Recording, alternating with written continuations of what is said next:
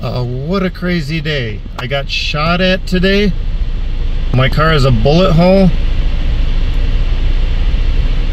And now there's a helicopter on the freeway.